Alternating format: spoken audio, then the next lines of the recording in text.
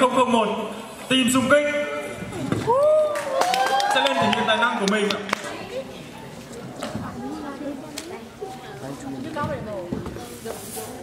Hạn chế đi lại đi đằng sau nhé.